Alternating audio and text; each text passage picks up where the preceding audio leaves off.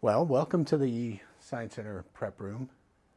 Uh, we've got a balloon hanging in the back of the physics area, and the balloon is charged. Um, and the charge on the balloon is allowing us to collect radon daughters. So the nuclei that are produced when radon gas um, disintegrates and I'm going to take this balloon, I'm going to deflate it and put it under a counter.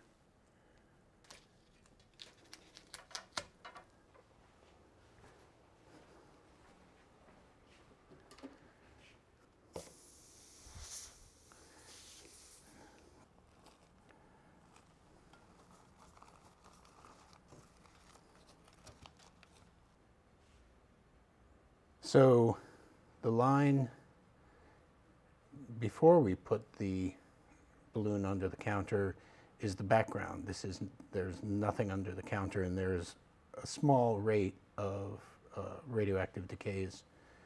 And then right here we put the balloon under and now we see that instead of three counts every three seconds, we're seeing on the order of 80 to 90 counts every three seconds. For the most part, it's alpha particles.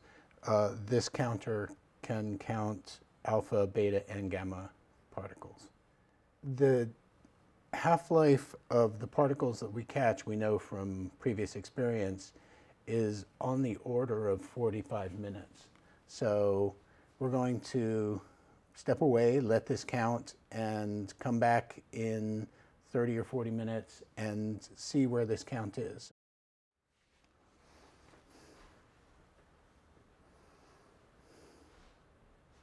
Okay, well, it's been a little over an hour since we started this, and you can see that the there's a curve now. There's um, a decay.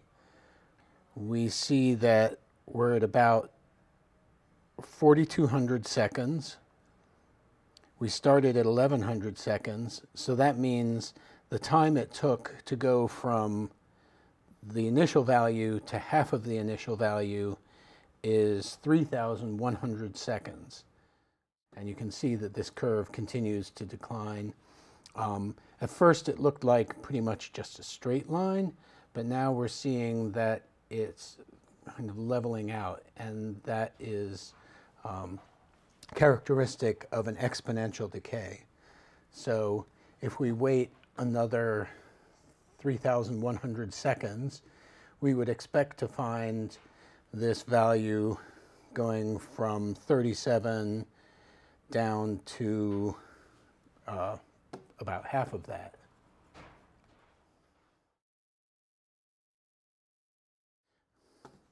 All right, so here we see a day's worth of data. The uh, computer is still taking data.